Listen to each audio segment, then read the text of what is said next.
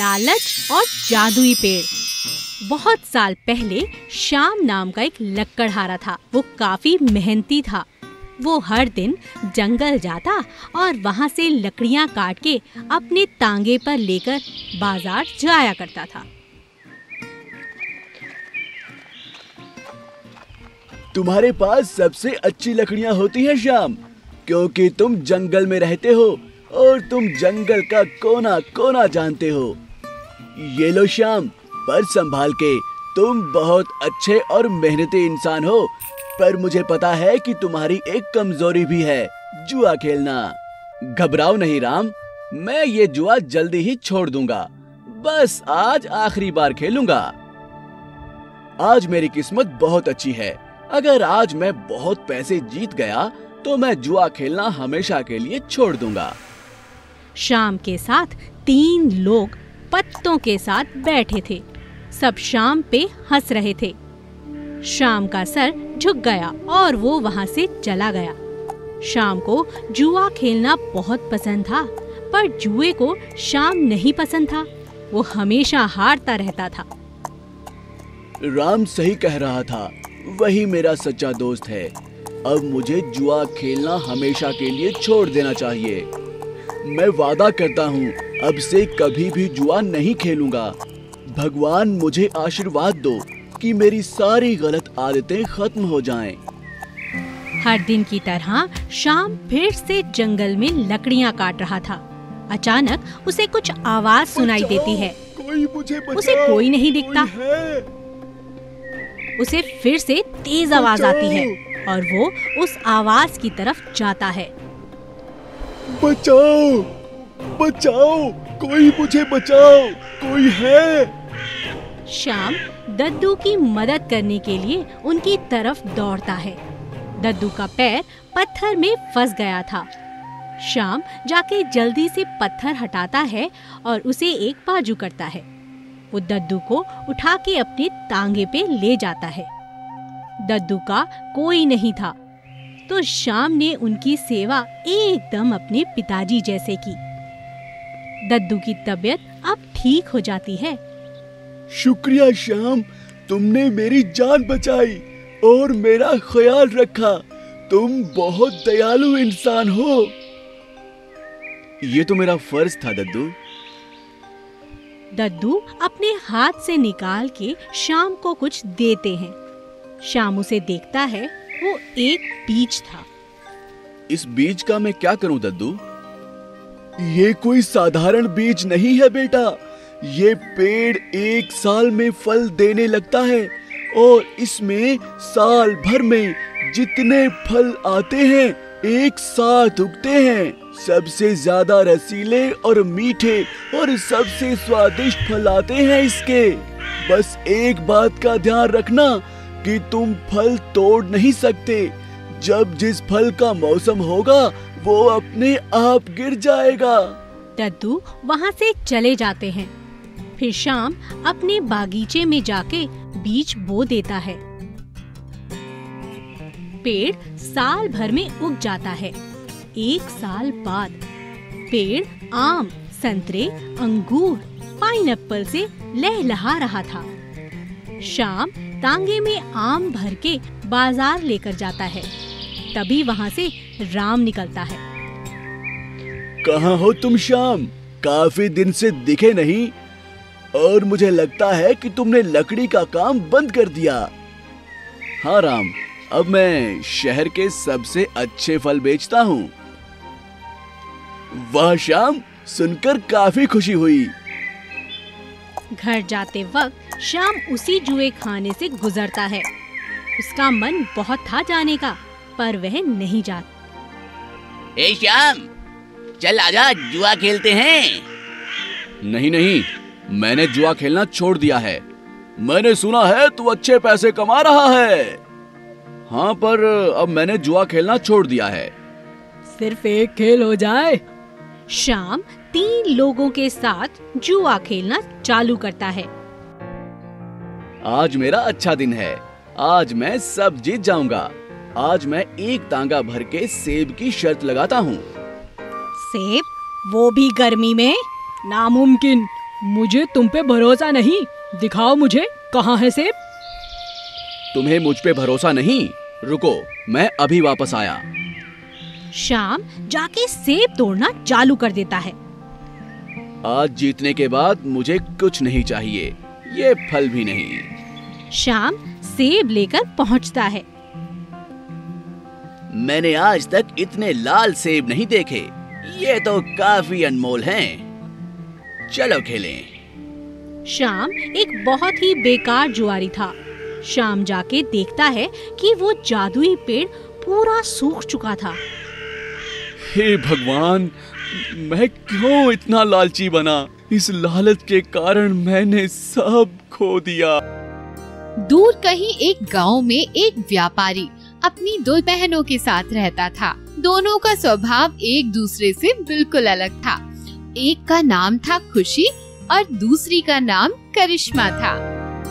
कितना खूबसूरत है आज का मौसम और उतनी ही खूबसूरत है ये हँसी वादियाँ हमसे ज़्यादा खूबसूरत नहीं हो सकता। हाँ मेरी प्यारी बहन, आपसे ज़्यादा खूबसूरत नहीं हो सकता। करिश्मा बचपन से बहुत ही शांत सरल और समझदार थी। वहीं खुशी को अपने रंग रूप पर बहुत घमंड था। वो स्वार्थी और जिद्दी थी। दोनों के जन्मदिन पर व्यापारी ने बहुत बड़ी दावत रखी। सभी गाँव के लोगों को दावत पर बुलावा भेजो। सभी लोग सज धज कर आए थे। करिश्मा की नज़र एक आकर्षक लड़के पर पड़ी। खुशी भी उसी लड़के को देख रही थी। वो देखो, वो लड़का कितना आकर्षक है। हाँ आकर्षक तो है। लड़का तो मुझे ही पसंद करेगा। क्यों? मुझमें क्या कमी है? तुम अच्छी तरह जानती हो। दावत में लड़के के परिवार वाले खुशी के लिए शादी का प्रस्ताव रखते हैं। ये बात जानकर करिश्मा मायूस हो जाती है और वो जंगल की तरफ़ चल पड़ती है। जंगल की तरफ़ जाते ही उसे एक बुज़ुर्ग जादूगर रोक लेता है। मैं जानता हूँ तुम्हारा मन विचलित है। तुम जंगल की ओर जा सकती हो, पर याद रखना, अपने कर्तव्यों का पालन करना। कोई भी काम करो, आशावादी आचरण के साथ पूरी मेहनत और ईमानदारी से करो, और कभी भी हार मत मानना। करिश्मा, तुम बहुत समझदार हो। मुझे तुम पर पूरा यकीन है। जंगल में थोड़ी दूर जाते ही उसे एक अजीब सी आवाज़ सुनाई देती है। हम्म। ध्यान से देखा तो उसे हिलती हुई घास दिखाई देती है, जहाँ से आवाज़ आ रही थी। करिश्मा घास के पास आकर देखती है। अरे, ये क्या? खरगोश? तुम शिकंजे में कैसे फंस गए? रुको, मैं तुम्हें शिकंजे से बाहर निकालती हूँ। वाह, कितने खूबसूरत हो तुम। कितने चमक रहे हो। बहुत बहुत शुक्रिया। तुम बोल सकते हो, तुम्हारा दयालु आचरण देखकर मैं बहुत प्रसन्न हूँ। अब तुम आगे बढ़ती जाओ। वो आगे बढ़ती है। उस डरावने जंगल में आगे बढ़ते हुए करिश्मा को डर लगता है। अरे बाप रे, कितना घना जंगल है। आगे जाकर करिश्मा को एक कछुआ, एक जाल में फंसा हुआ दिखाई देता है। अरे तुम इस जाल में कैसे फंस गए? कछुआ बहुत कोशिश कर रहा था जाल से निकलने का। शांत रहो मैं तुम्हें इस जाल से छुड़वाती हूँ। करिश्मा उस जाल से कछुए को बाहर निकालती है। अब तुम आज़ाद हो। शुक्रिया तुमने मुझे इस जाल से आज़ाद करवाकर एक नया जीवन दिया है। हाँ? तुम भी बोल सकते हो? हाँ तुम बहुत दरिया दिल और निस्वार्थ लड़की हो। अब तुम आगे बढ़ती जाओ। आगे बढ़कर करिश्मा को एक बेजान और सूखा हुआ पेड़ दिखाई देता है। अरे, ये पेड़ तो सूख गया है। लगता है इसे पानी की ज़रूरत है। वो पास की नदी के किनारे जाती है। वहाँ एक घड़ा रखा हुआ था और वहाँ से पानी भरकर पेड़ में पानी डालती है। पानी डालते ही पेड़ में जान आ जाती है। हाँ? ये क्या? अरे ये ये क्या हो रहा है? धन्यवाद तुमने मुझे पानी दिया। तुम भी बोल सकते हो? हाँ। लड़की तुम बहुत नेक दिल की हो और तुम्हें किसी भी चीज़ का लालच नहीं है। तुम्हारा दयालु आचरण देखकर मैं बहुत प्रसन्न हूँ। और मैं तुम्हें तोहफे के तौर पर कुछ देना चाहता हूँ। जाओ, वहाँ जो नदी है, उसमें एक डुबकी लगाओ। ठीक है, जैसे आपकी आज्ञा। करिश्मा आगे जाकर नदी में डुबकी लगाती है और जैसे ही वो बाहर आती है, उसे बहुत अजीब सा महसूस होता है। उसका रंग रूप खुद बदल जाता है। वो बहुत खूबसूरत हो जाती है। ये देखिए ये देखिए ये सब कैसे? ये तुम्हारे कर्मों का फल है। मेरा सौभाग्य है कि मुझे आपके दर्शन हुए। मैं ये नहीं जानती कि ये सब कैसे हुआ लेकिन मैं बहुत खुश हूँ। हमेशा खुश रहो बेटा। मेरी एक सूखी टहनी तोड़ो। जैसे ही करिश्मा टहनी तोड़ती है वो टहनी एक अंगूठी में बदल जाती है। तुम्हें जब भी कोई दुख हो या मन चिंता से घिर जाए तो इस अंगूठी को चूम लेना। फिर तुम्हारी सारी चिंता दूर हो जाएगी। वापस आते वक्त करिश्मा को वही जादुई कछुआ दिखता है। कछुआ ऊपर से लेकर नीचे तक हीरे की तरह चमक रहा था। वाह कितने खूबसूरत हो तुम। तुम बहुत समझदार लड़की हो। मेरा ये मोती अपने पास रखो। तुम्हें जब भी मदद की ज़रूरत हो तो इस मोती को अपने हाथ में पकड़कर मुझे याद करना। करिश्मा थोड़ी आगे बढ़ती है तो उसे खरगोश मिलता है। अरे तुम तो बिल्कुल ठीक हो गए। हाँ मैं स्वस्थ हूँ। तुम्हारी उदारता और दया से भरा मन देखकर मैं प्रसन्न हो गया हूँ। मैं तो बस अपने कर्तव्यों का पालन कर रही थी। तुम कभी किसी भी मुसीबत में फंस जाओ तो मुझे आवाज़ लगाना। मैं तुम्हारी मदद के लिए आ जाऊँगा। करिश्मा आगे चलती जाती है। रास्ते में उसे वो पंडित जी मिलते हैं। करिश्मा तुम्हारे स्वभाव को देखकर उन्होंने तुम पर उपकार किया है। जो जीवन भर तुम्हारे काम आएगा। करिश्मा अपने घर वापस आ जाती है। करिश्मा, तुम इतनी खूबसूरत कैसे हो गई? और कहाँ चली गई थी? और ये सब क्या है? एक पंडित ने मुझे जंगल भेजा था। खुशी के मन में लालच आ जाता है। वो सीधे जाकर पंडित जी से मिलती है। करिश्मा मायूस थी इसलिए उसे जंगल में भेजा था। तुम्हें इससे कोई परेशानी तो नहीं है? नहीं मैं भी जंगल जाना चाहती हूँ। ठीक है तुम जाना चाहती हो तो जाओ लेकिन जो भी काम करना पूरी ईमानदारी से करना। खुशी जंगल जाती है उसे भी खरगोश मिलता है। मेरी मदद करो कोई मेरी मदद करो। मैं यहाँ वक्त बर्बाद नहीं करना चाहती हूँ। मुझे जल्द से जल्द और भी खूबसूरत बनना है। वो उसे अनदेखा करके आगे बढ़ जाती है। खुशी आगे जाकर कछुए को जाल में फंसा हुआ देखती है, पर वो उसे भी अनदेखा कर देती है। आगे जाकर उसे सूखा हुआ जादुई पेड़ दिखता है। तुम वही पेड़ हो ना, जिसने मेरी बहन को पानी में डुबकी लगाने के लिए कहा था? मुझे भी बताओ, कहाँ है वो नदी? मैं भी खूबसूरत होना चाहती हूँ। खुशी की बात सुनकर जादुई पेड़ असली रूप में आ जाता है और खुशी को अपनी शाखा से पकड़ लेता है। खूबसूरत? हाँ हाँ बहुत खूबसूरत बनना चाहती हूँ। तुमने अपनी ज़िंदगी में ऐसा कौन सा काम किया जो परेशानियाँ हैं? तुमने कभी निस्वार्थ भाव से किसी की मदद की है? किसी का दर्द दूर करने की कोशिश की है? या कोई भला काम किया हो जिससे किसी का उद्धार हुआ हो। नहीं। लड़की तुम गलत जगह आई हो। पहले अपने मन से नकारात्मक भाव हटा दो। अपने अपनों से मिलजुल कर रहो। दूसरों की तरह सकारात्मक दृष्टिकोण रखो। तुम अपने आप खूबसूरत हो जाओगी। खुशी वहाँ से सीधे अपने घर लौट आती है और अपनी बहन से उसके बुरे बर्ताव के लिए माफ़ी मांगती है। तो दोस्तों, इस कहानी से हमें ये शिक्षा मिलती है कि इंसान को उसका स्वभाव ही खूबसूरत बनाता है, ना कि उसका रंग और रूप। जादुई चक्की। एक गाँव में रामू और श्यामू नाम के दो भाई रहते थे। दोनों थे तो सगे भाई। मगर दोनों की आर्थिक स्थिति बिल्कुल अलग थी। रामू एक बड़े कारखाने का मालिक था। वही श्यामू के लिए दो वक्त का खाना भी लाना मुश्किल था। एक दिन रामू अपने पैसे गिनकर आराम करने घर गया।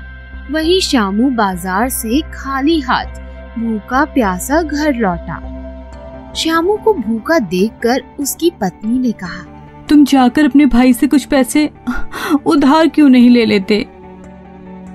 अपनी पत्नी राधा की बात सुनकर श्यामू ने कहा ठीक है मैं जाकर रामू भैया से पैसे लेता हूँ और कुछ खाने को लाता हूँ।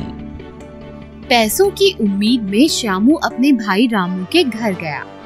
मगर रामू और उसकी पत्नी ने उसे बहुत भला बुरा कहा और हद भिकारी कहकर वहाँ से भगा दिया। श्यामू उदास मन से घर लौट रहा था कि रास्ते में उसे एक प्यासी बुढ़िया मिली। बुढ़ी अम्मा प्यास के मारे रो रही थी। श्यामू से इस अम्मा की ये हालत देखी नहीं गई और वो उसे अपने घर ले आया। घर जाकर उसने पहले अपनी पत्नी से कहा अम्मा को बहुत प्यास लगी है। अम्मा को पानी पिलाओ फिर थोड़ी देर आराम करवाओ। घर पे मटके में जो भी पानी था वो राधा ने बूढ़ी अम्मा को पिला दिया और खुद श्यामू के साथ प्यासी बैठी रही। थोड़ी देर आराम करके जब वो बूढ़ी औरत उठी, तब उसने देखा कि घर पर कुछ भी नहीं है। अम्मा ने श्यामू से पूछा, तुम सच में इतने गरीब हो बेटा? तब श्यामू ने कहा हाँ माँ, मेरा सारा पैसा मेरा भाई ले गया और अब मैं लकड़ियाँ बेचकर अपना गुजारा करने की कोशिश करता हूँ। मगर कई बार मुझे और मेरी पत्नी को भूखा ही रहना पड़ता है। बूढ़ी अम्मा ने जब ये बात सुनी तो उन्हें बहुत बुरा लगा और उन्होंने अपनी गठरी में से एक चक्की निकालकर श्यामू को दे दी। अम्मा ने कहा, बेटा, तुम्हारे पास कुछ भी नहीं है, फिर भी तुमने मेरी मदद की। तुम जैसे अच्छे और सच्चे इंसान का भला होगा। ये लो चक्की। श्यामू ने चक्की की ओर देखा और हताश होकर कहा अम्मा हमारे पास तो पीसने को अनाज ही नहीं। इस चक्की का हमारे यहाँ क्या काम? तब अम्मा मुस्कुराते हुए बोली ये एक जादुई चक्की है। जब भी तुम इस चक्की से खाना मांगोगे, ये तुम्हें दे देगी। मगर जब तुम्हें इस चक्की को रोकना है, तब इसे एक सुनहरे कपड़े से ढक देना। अम्मा की बात पर श्यामू और राधा को यकीन नहीं हुआ, लेकिन रात को भूखी अवस्था में दोनों ने एक दूसरे को देखा और सोचा कोशिश करने में क्या जाता है?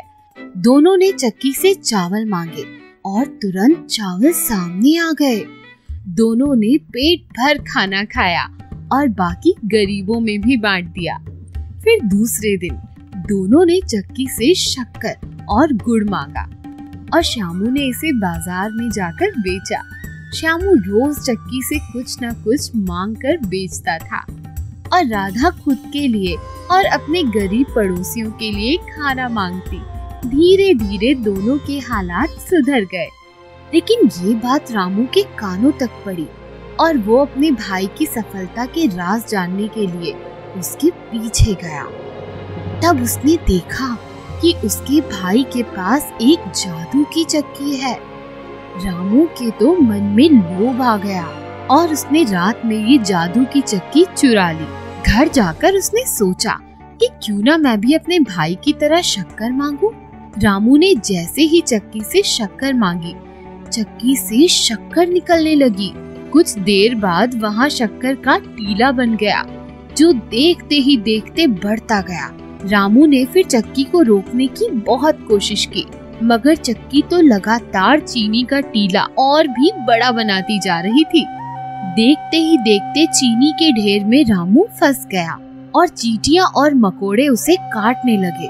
सभी दरवाजे बंद होने के कारण कोई भी उसकी मदद की पुकार सुन नहीं पा रहा था और आखिर वो चीनी के टीले में दबकर मर गया। इस कहानी से हमें सीख मिलती है कि हमेशा जरूरतमंद की मदद करनी चाहिए और लालच से हमेशा दूर रहना चाहिए। एक गाँव में रतन और रजत नाम के दो अमीर किसान रहते थे। उनके पास खेती के लिए बहुत सारी ज़मीन थी और बहुत सारी गायें भी थी। वो दोनों और गायें खरीदना चाहते थे। उनके पड़ोस में मदन नाम का एक गरीब किसान रहता था। मदन के पास एक छोटा सा ज़मीन का टुकड़ा और केवल एक ही गाय थी। मदन के पास जो भी कुछ था, वह उससे संतुष्ट रहता था और भगवान को उसके लिए धन्यवाद देता था। देखो, मदन तो बहुत खुश लग रहा है। इतनी गरीबी में ये कैसे खुश रहता है? अगर हम इसकी गाय खरीद लें तो अच्छा रहेगा। एक दिन रजत और रतन मदन की गाय खरीदने के लिए उसके पास आए। कैसे हो मदन? हम तुम्हारी गाय खरीदना चाहते हैं। इसके बदले हम तुम्हें दस चांदी के सिक्के देंगे। मदन अपनी गाय को बहुत प्यार करता था। और उसे बेचना नहीं चाहता था। मुझे अपनी गाय बेचनी नहीं है। आप लोग किसी और से गाय खरीद लें। मदन के मना करने पर रतन और रजत बहुत गुस्से में आ गए। उन्होंने सोचा कि वो मदन से बदला लेंगे। रतन मदन ने हमारा अपमान किया है और गाय भी नहीं बेची। हाँ हाँ रतन। हमें अपने अपमान का बदला लेना चाहिए। क्यों ना कुछ ऐसा करें कि वह अपनी गाय बेचने पर मजबूर हो जाए। यही हमारा बदला होगा। अच्छा अच्छा कैसे? हम उसकी फ़सल नष्ट कर देंगे तो वह क्या खाएगा और क्या गाय को खिलाएगा? उन दोनों ने रात के समय मदन के खेत जला दिए। मदन ने जब यह देखा तो बहुत उदास हो गया। हे भगवान यह क्या हो गया? अब मैं जीवन यापन कैसे करूँगा? कई दिन बीत गए और मदन का सारा राशन खत्म हो गया। मदन और उसकी गाय दोनों भूखे थे। उसने सोचा अब मैं गाय को कुछ नहीं खिला सकता। इसे बेच देता हूँ। नया मालिक इसे खाना तो देगा। अगली सुबह मदन गाय और अपनी सारी पूंजी लेकर गाय बेचने के लिए निकल पड़ा। रास्ते में उसने सोचा मेरे पास केवल दस सिक्के हैं। रास्ते में कोई चोर या लुटेरा मेरे ये सिक्के छीन लेगा। तो बहुत बुरा होगा। मैं यह सिक्के अपनी प्यारी गाय के गले से बाँध देता हूँ। थोड़ी दूर जाकर वह एक सराय में आराम करने के लिए रुक गया। सराय के बाहर उसने गाय को बाँध दिया और खुद अंदर चला गया। तभी गाय के गले में बंधा चांदी का एक सिक्का नीचे गिर गया। सराय के मालिक ने सिक्का गिरते हुए देखा और सोचा यह गाय तो चांदी का सिक्का देती है। शायद इसके मालिक को यह बात नहीं पता। क्यों ना मैं यह गाय खरीद लूँ? क्या यह गाय आपकी है? जी हाँ मेरी है। मैं इसे बेचना चाहता हूँ इसीलिए बाज़ार ले जा रहा हूँ। अब आपको बाज़ार नहीं जाना पड़ेगा। मैं इसे खरीद लेता हूँ, और इसके बदले मैं तुम्हें बहुत से चांदी के सिक्के दूँगा। बहुत से चांदी के सिक्के? ठीक है, जैसी आपकी मर्ज़ी। सराय के मालिक से सिक्के लेकर मदन अपने घर की ओर चल पड़ा। घर पहुंचकर वह चांदी के सिक्के गिनने लगा और सोचा कि यह तो इतने सिक्के हैं कि वह अब एक नई गाय खरीद सकता है। यह तो 500 चांदी के सिक्के हैं। कुछ ही देर में रतन और रजत वहाँ आ गए और उसके सिक्के देखकर हैरान रह गए। अरे इतने चांदी के सिक्के? तुम्हारे पास कहाँ से आए? ये सिक्के मुझे मेरी गाय बेचने से मिले हैं। भगवान ने मुझ पर कृपा की है और अब मैं बहुत सी गायें खरीदूँगा। रतन और रजत यह सोचकर उदास हो गए कि उनकी योजना उल्टी पड़ चुकी थी। मदन अब अमीर बन चुका था। किसी को नुकसान पहुंचाकर आप खुश नहीं रह सकते। एक गाँव में शंभू नाम का भिखारी रहता था। वो लोगों से भीख मांग मांग के खाना जमा करता था। हर दिन उसका खाना एक बिल्ली चुरा लेती थी। एक दिन उसने उस बिल्ली को पकड़ा और उससे सवाल किया ओ बिल्ली तुम मेरा खाना क्यों चुराती हो? जाके अमीरों का खाना चुराओ उन्हें पता भी नहीं चलेगा। मेरे भाग्य में ही है कि मैं तुमसे चुराऊं। क्यों? क्योंकि ये तुम्हारे भाग्य में है। कि तुम अपने साथ सिर्फ़ आठ चीज़ें रख सकते हो चाहे जितनी भी इकट्ठी कर लो। ये सुन के शंभू उदास हो जाता है। मेरी ही ऐसी किस्मत क्यों है? इसका जवाब तो तुम्हें बुद्धा ही दे पाएँगे। अगले ही दिन वो बुद्धा को ढूँढने निकल जाता है। पूरा दिन यात्रा करके वो एक धनी आदमी के घर पहुँचता है। और वहाँ पे रात रुकने का मन बनाता है।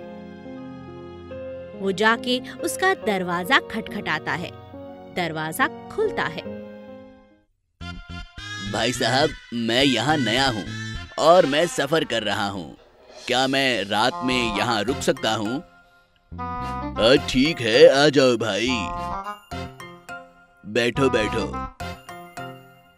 तभी वहाँ से उस आदमी की बीवी पानी लेकर आती है। ये लीजिए भाई पानी पीजिए। कहाँ जा रहे हो वैसे आप यात्रा पे? मैं बुद्धा की खोज में जा रहा हूँ।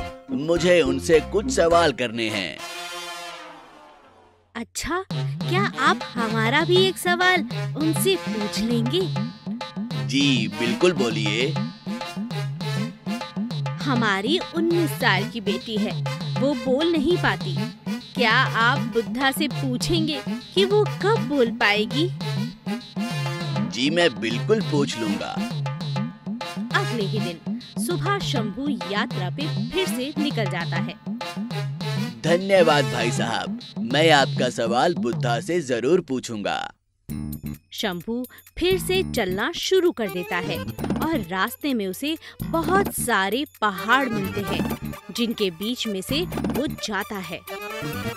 हे भगवान इन पहाड़ों पे चल चल के तो मैं थक गया। जैसे ही वो थोड़ा आगे बढ़ता है उसे एक जादूगर मिल जाता है। भाई साहब क्या आप मेरी मदद कर सकते हैं ये पहाड़ पार करने के लिए? बिल्कुल। आओ बैठ जाओ मेरी छड़ी पे। जादूगर और शंभू दोनों ही छड़ी पे बैठकर निकल पड़ते हैं। कुछ दूर जाने पर जादूगर शंभू से सवाल करता है। क्यों भाई कहाँ जा रहे हो तुम इन पहाड़ों के बीच से? मैं बुद्धा के पास जा रहा हूँ। अपने सवालों का जवाब पूछने क्या तुम मेरा भी एक सवाल बुद्धा से पूछ लोगे? हाँ बिल्कुल, बोलो बोलो।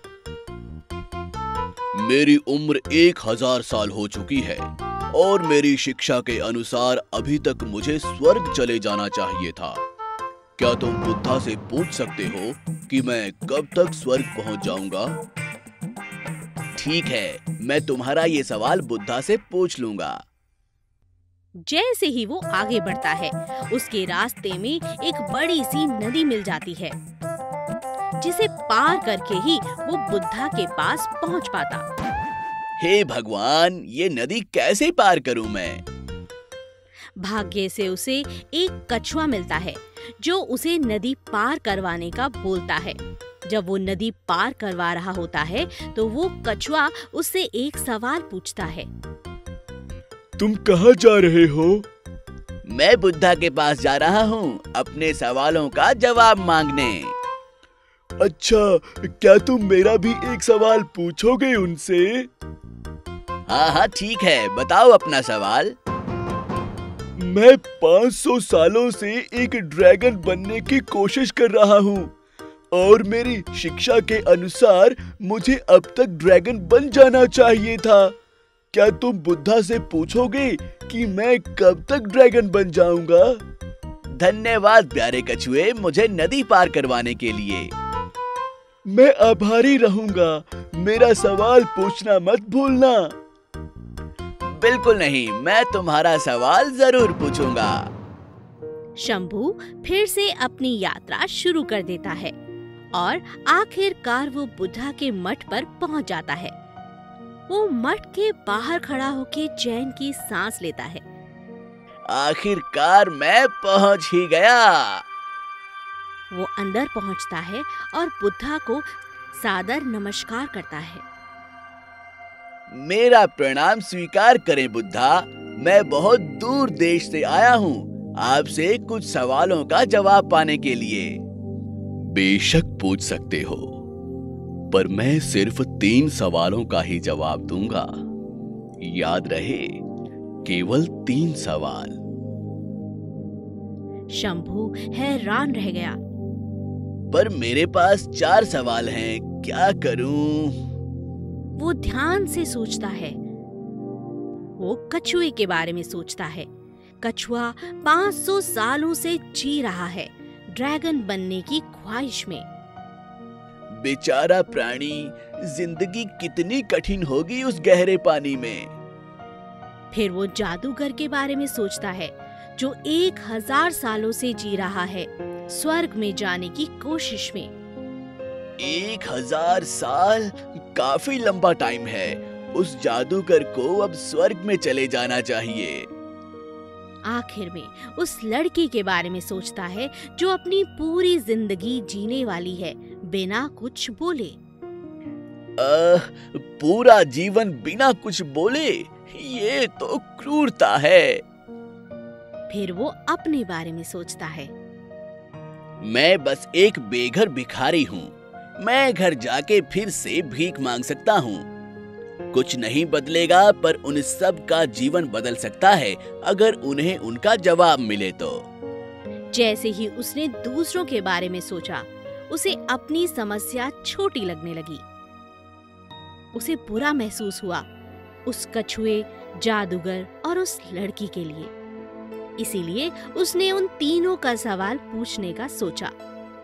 बुद्धा ने जवाब दिया, कछुआ पाँच सौ साल से ड्रैगन इसलिए नहीं बन पाया क्योंकि वो अपना ढांचा छोड़ने के लिए तैयार नहीं है। जब तक वो अपने ढांचे से बाहर नहीं आएगा, वो कभी भी ड्रैगन नहीं बन सकता। ओह, ये किसने सोचा होगा? वो जादूगर कभी अपनी छड़ी नीचे नहीं रखता, जिस कारण वो उसके सहारे की तरह है, जो उसे स्वर्ग जाने से रोक रहा है। ओह, मैं ज़रूर उन्हें बताऊँगा। और उस लड़की का क्या? वो लड़की ज़रूर बोल पाएगी, जब वो अपने हम सफ़र से मिलेगी। ओ महान बुद्धा, आपका बहुत बहुत धन्यवाद। बुद्धा शंभू की ओर देखकर मुस्कुराते हैं। शंभू ने बुद्धा को प्रणाम किया और वो अपने घर की ओर निकल पड़ा। रास्ते में उसे वो कछुआ फिर से मिला। क्या तुमने पूछा? हाँ बेशक। तुम्हें बस अपना ये ढांचा निकालना है और तुम ड्रैगन बन जाओगे। कछुआ अपना ढांचा निकालता है और उस ढांचे के अंदर बेशकीमती मोती थे जो गहरे समंदर में मिलते हैं जो वो उस शंभू को दे देता है। इन्हें तुम रख लो। मेरी तरफ़ से तोहफा है। मुझे अब इनकी ज़रूरत नहीं है क्योंकि मैं एक ड्रैगन हूँ। धन्यवाद भले इंसान। और वो उड़ जाता है। आगे जाते ही पहाड़ की चोटी पर वो फिर से जादूगर से मिलता है। क्या तुमने मेरा सवाल पूछा? हाँ हाँ आपको बस अपनी छड़ी छोड़नी पड़ेगी। आप स्वर्ग पहुँच जाओगे। सच में? हाँ बुद्धा ने यही कहा था। इस तरह जादूगर अपनी छड़ी छोड़ देता है और वो शंभू को अपनी छड़ी देकर उसे धन्यवाद कहकर वो स्वर्ग की ओर प्रस्थान करता है। अलविदा इंसान अच्छे से रहना। अब शंभू के पास कछुए के दिए मोती और जादूगर की छड़ी भी थी। वो वापस उस परिवार के पास जाता है। जिसने उसे आसरा दिया था। वो उसे देखकर खुश हुए और जवाब की उम्मीद करने लगे। महान बुद्धा ने कहा है कि आपकी बेटी तब बोल पाएगी जब वो अपने हम सफ़र से मिलेगी। और उसी क्षण वो लड़की नीचे आई और बोल पड़ी माँ क्या ये वही इंसान है जो पिछले हफ़्ते आए थे? वो लड़की और उसकी माता पिता हैरान थे। वो शंभू की ओर देखते हैं। वही उसका हम सफ़र था। माता पिता ने उनकी शादी कर दी। और वो सब लोग एक साथ खुशी खुशी रहने लगे। इस कहानी से हमें ये शिक्षा मिलती है कि हम जो भी काम संसार में अच्छा करते हैं, वो वापस हमारे पास ही आता है।